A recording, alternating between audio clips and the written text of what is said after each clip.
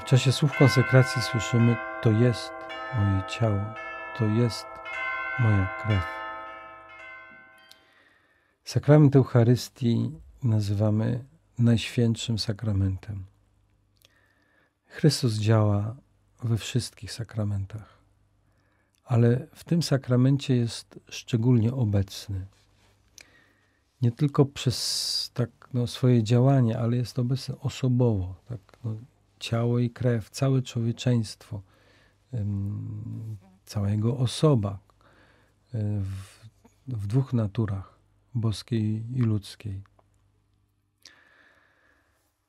Więc przy okazji omawiania e, poszczególnych elementów modlitwy eucharystycznej zwróćmy też uwagę na to, jak rozumiemy e, obecność Chrystusa pod postaciami. Może lepiej tak wytłumaczyć, jak nie rozumiemy. Więc nie symbolicznie. Przy czym słowo symbol to używam tutaj w takim znaczeniu zachodnim, łacińskim i takim no, popularnym powiedzmy. Jeżeli ktoś mówi, że kolacja była symboliczna, to znaczy, że jeszcze jest głodny. Jeżeli ma pensję symboliczną, to znaczy uważa, że zarabia za mało. To symboliczne to jest takie nieprawdziwe, nierzeczywiste, jakaś jakby część, ale jeszcze nie to, o co chodzi. W języku greckim mówimy oczywiście o języku Kościoła. E, to słowo ma inne znaczenie.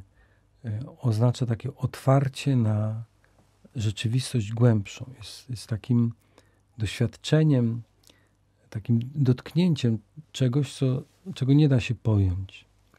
Więc jeżeli symbol używamy w takim znaczeniu, no to wtedy trzeba powiedzieć, że Eucharystia jest najpełniejszym symbolem, bo żaden inny nie wprowadza tak w rzeczywistość Bożą, jak, jak ten sakrament. Ale tutaj wracamy do tego myślenia takiego nam współczesnego, do używania tego słowa. Więc nie symbolicznie w znaczeniu, że to nie tak, że nam ma to przypominać, tak jak pamiątka przewieziona z nadmorza, z jakichś ciekawych wakacji, budzi nasze wspomnienia, gdy na nią patrzymy. To nie chodzi o nasze intencje, o nasze myślenie, że nam się kojarzy i dzięki temu nam łatwiej jakoś stanąć w obecności Bożej. Jest to wybór Chrystusa i On rzeczywiście w tych znakach jest ze swoim wydaniem. To nie my się umówiliśmy, że sobie tak będziemy Jezusa wspominać. To On nam daje swoją pamiątkę. Więc nie symbolicznie, a prawdziwie. Dalej, ta obecność nie jest owocem no, naszej wiary, naszej w znaczeniu każdego z nas osobna. Bo wiemy, że spotykamy się z Bogiem w akcie wiary. Natomiast Eucharystia jest nam dana i chodzi tu o akt wiary Kościoła.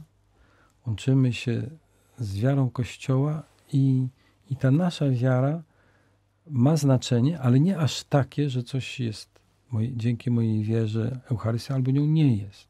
Czyli jeżeli przyjmiemy komunię świętą bez wiary, to możemy przyjmować bezowocnie, czy możemy w ogóle profanować Najświętszy Sakrament.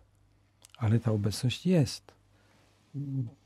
To sposób przyjęcia od nas zależy, a nie obecność Chrystusa w tym znaku. No i jest też Chrystus obecny substancjalnie, e, czyli e, zmieniona zostaje istota. Widzimy kawałek chleba, a mówimy, powtarzając słowa Jezusa, to jest, to jest ciało moje. Nie jest to chleb, który ma wam przypominać o moim ciele. To jest moje ciało. E, więc zmieniło się to, co no, najistotniejsze w tej materii chleba i wina. To prawdziwie obecny jest Chrystus. Nie ma chleba, nie ma krwi, e, nie ma chleba, nie ma wina. Jest ciało i krew Chrystusa. Możemy powiedzieć, że istota przypadłości, substancja to są terminy wzięte z języka filozoficznego, niebiblijnego.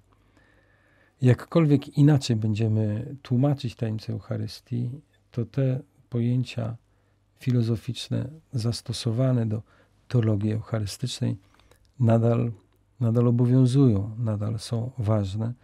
Nadal Kościół uważa, że tym językiem dobrze wyrażona jest tajemnica Eucharystii.